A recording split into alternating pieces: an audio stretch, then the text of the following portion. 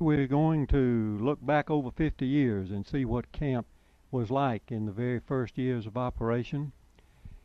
Actually, Camp Mac was established by my parents, Mr. and Mrs. E.A. McBride. And in 1948, my father bought an abandoned CCC camp in the Talladega National Forest with a dream of developing an outstanding summer camp for boys and girls in the Cheaha Mountains. In the beginning, there was really very little here. No ball fields, no lakes, no pool, no gym, not even a telephone line, and the only access to camp was an old dirt road. But there were a few living cabins, and a dining hall, and a recreation building, and a few general purpose buildings and storerooms. Now let's take a trip back in time and see what camp looked like in the late 40s and early 50s. Here's a picture of the original rec hall. You can check out the big rock fireplace which is still there. The only thing left of this building today really is the uh, good oak floor that was refinished and it's still in place. Here we see my father, uh, Mr. McBride, having one of the first cabin inspections. Here are some of the first campers to ever attend camp and one of the first cabin inspections on the boys' cabin line. And over on the girls' cabin line, here's some girls uh, in their lounge room listening to the radio. And check out the lamp on the table there. The lamp was made in arts and crafts. Here are the rock steps in front of the rec hall. A little bit smaller than they are today, but I guess they were big enough. And check out the siding on the buildings there. There was a black siding with white strips. Not very attractive, but it did protect the buildings. Canteen has always been in the same place at camp, and here's some early campers enjoying ice cream in front of the canteen.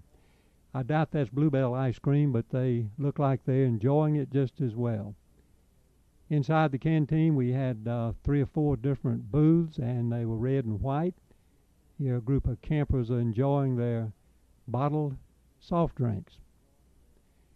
Now, in 1955, um, I had completed my tour of duty in the United States Navy, and Margie and I returned home to camp. And here's Margie handing out mail in front of the dining hall. Back then, the camp was so small that you could have mail call just before we went in to eat each day at noon. And here's a shot inside the dining hall. See the serving line there, and notice that uh, the camp at that point was not large enough to even fill up one section of the dining hall. One of the first things my father did um, when he bought the camp was to build a swimming pool. There were very few swimming pools in the county at that time. Uh, they didn't have filter systems, so you had to fill the swimming pool up, and you, of course you chlorinated the water during the week, and then once a week you had to drain the pool and scrub it out like a bathtub. Check out the diving tower at the end of the pool down there. The campers love the diving tower. A lot of fun, but of course uh, insurance regulations don't allow that today. Because in need of a dependable source of water to fill the pool every week, my father was very interested in building the lakes here at camp. They built the lower lake first, and then just a couple of years later built the upper lake. Here's a shot of the upper lake before it filled up, and here we have the lake full. Was a big occasion when they paved the road coming through camp. Now delivery trucks would actually deliver groceries to the kitchen and check out the uh, safari cabin over there at the left. Here's the first Camp Mac sign right at the entrance to the quadrangle. You see the wagon wheels marking the entrance to the dirt road around the quadrangle. I had a younger brother named John McBride who was an outstanding high school athlete. He lettered in three sports basketball, track, football, and he accepted a scholarship to play football for the University of Alabama in 1951, uh, and he played in the same backfield with Bart Starr. John had uh, just won the starting position uh, at halfback in his senior year, but was killed in a plane crash in 1954 while in training to be an officer in the United States Air Force. The marble marker in the quadrangle was placed there in John's memory by the members of the Air Force ROTC from the University of Alabama. And of course, the marker is still there today. The Vesper area at camp has always been in the same location. However, early on the uh, stage was made of wood. Of course, the wood would rot from year to year, and eventually it was replaced with a concrete stage. And notice the trees, the young trees trying to grow up between the seats, and eventually they had to be cut. Let's look at some of the activities in the early years at camp. Horseback was always popular. And here we have a picture of the first horses at camp. There were four horses for campers, and of course, one of the counselors rode the lead horse. Now, there really was no barn, just a, a mule barn over there, some property my father had bought. And there was no water, so the horses had to be watered at the lake. And every afternoon, late in the afternoon, some volunteers had to go over and ride the horses down to the lake and uh, let them have a good drink of water. First basketball court. This is on the location that um, is the beanbag battlefield today. You can notice the safari cabin in the background there, and look at that pole. Check out, there's a string of lights, if you can look carefully, that the uh, staff uh, had rigged so that you could play at night. Uh, the lights weren't very good, but uh, it was one of the few things that you could do at night. Check out the SWAT ball court here. They had uh, cut a, um, a little tree and made a pole out of it and taken a tennis ball and put it inside a sock and tied a string to it, used wood paddles, and the rules were similar to tetherball, and this was really one of the uh, early games that led on to tetherball. Also, look at the tennis court back there. It's a dirt court, and really we spent more time trying to line the court off than did playing. And the chicken wire backstop behind it, and across from the tennis court there was a volleyball court. This was the first volleyball court, and of course, when it rained, you had two big mud puddles out there. And also, the ball wound up in the ditch most of the time. Here's the first rifle range at camp. Riflery was one of the early activities, and it grew along the way. There was one firing position here, uh, but it was in the same location as the present rifle range, a good, safe location. Here's the first ball field at camp. Originally, there were no level places to play ball, so we had to cut these out of the hillside, you know, with bulldozers.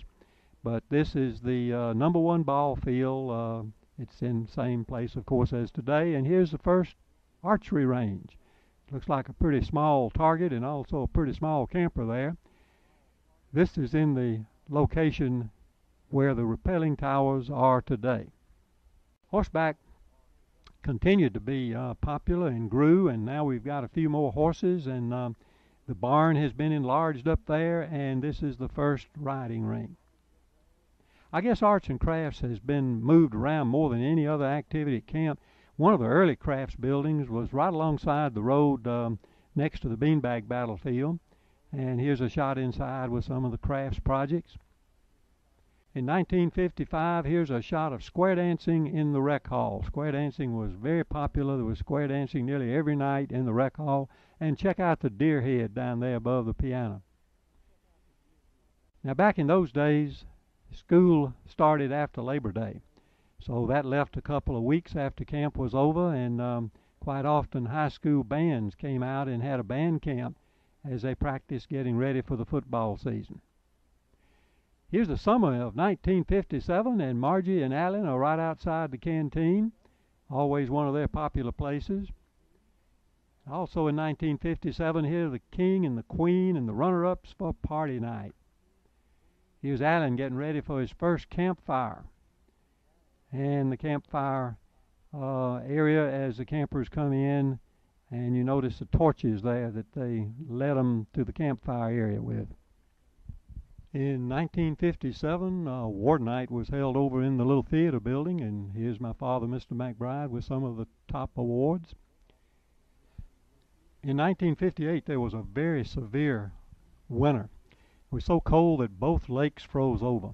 And here's uh, Alan testing out the thickness of the ice, upper lake, right off the end of the ski dock. It uh, seems to be holding him up pretty well there. Here's a picture of some of the first CITs. Ernest Strong, the gentleman right there on the end, was the first CIT director at Camp Mac. In fact, he uh, designed and authored the um, CIT diploma that we still use today.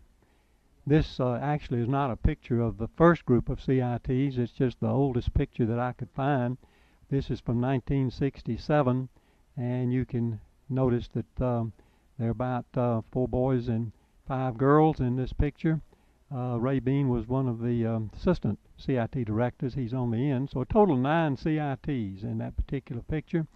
Ernest um, did a great deal to um, uh, help the camp program along with his uh, expert leadership, and uh, his contributions will always be remembered.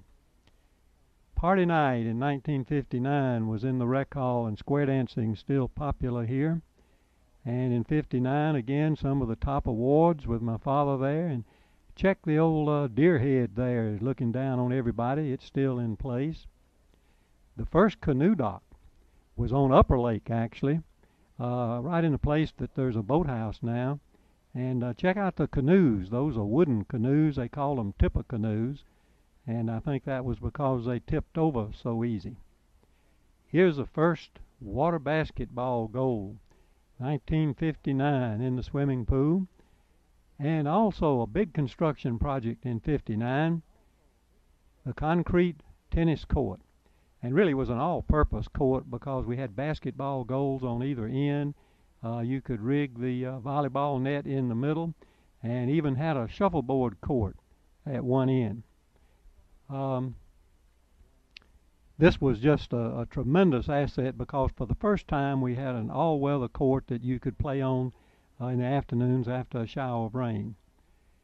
And back in those days, the barber came out to camp uh, every other week and cut all the boys' hair at camp. Now there was a lot going on in the uh, 60s um, at camp, and so let's talk a little bit about the 60s. I Have a new camp sign here uh, on the ox yoke at the entrance to camp, and as a matter of fact, the same old ox yoke is still in use today, even though several different signs have hung from it during the years. And in front of the dining hall, we have a new concrete patio out front and shelters along the side to shelter people from the rain. And here's the first badminton court. Uh, right there by the canteen, same location as today. And later on in 61, uh, the badminton court was surfaced with concrete. And look, there's a new building, a white building right behind there. This was the first ping pong building in camp. Now, this is now part of the canteen operation, but then it was our ping pong building and shuffleboard moved over right next to ping pong, and now you could play tennis and shuffleboard at the same time. Riflery continued to grow. We've doubled in size. Now two people can shoot at the same time on the rifle range. I believe that's Don McLemore, one of the um, early counselors at camp, was riflery instructor. And the first pool trampoline was installed in 1961, and that's a still popular thing today. Here's John on his favorite horse in 61. And of course, camp continued to grow with uh, horseback being one of the popular activities. We're up to 12 horses now in 1965, actually. And skiing became more and more popular. Skiing was growing by leaps and bounds, uh, and here you see um, a couple of the ski instructors um, with a whole bunch of skis. These are wooden skis, and actually they were Cypress Garden skis. Those were considered to be the very finest uh, skis. They were all wood and they planed off easy. And even our youngest campers got into skiing. This picture is of a little eight year old girl. I do not remember her name, but she was one of the youngest campers to learn to ski. And she's up and away there and doing such a good job, I bet she could ski behind a mouse boat. Speaking of skiing, here's a group practicing for the ski show on Parents' Day and the camp has a new ski boat here and it's powered by an Evinrude Big Twin, the largest engine made, outboard motor made, and it had all of 25 horsepower and it's pulling four skiers. Here's a better shot of the little ski boat and the 25 horse motor. If you look carefully, you can see the camper in the back uh, practicing for the ski show, and he's riding a rocking horse. There was a big snow in January of 62. About six inches of snow covered all of the camp. Beautiful sight. And here's what the swimming pool looked like with six inches of snow.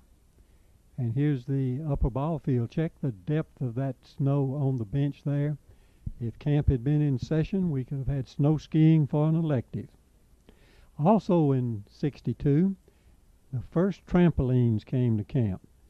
This was an immensely popular activity with the campers, and of course, trampolines is still a popular activity today. Here's a neat picture of my mother and father and Alan and John in the first electric golf cart at camp. My father's health uh, beginning to fail, and he used the golf cart to get around camp.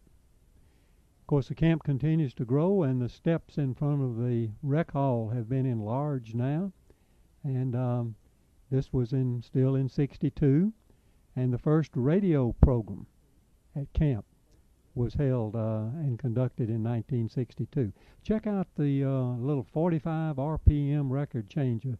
This was the leading edge of technology back in those days, and that was a central part of the music system. Electronics was an unusual camp activity, and um, it began uh, in 1960s early and uh, ran for a number of years.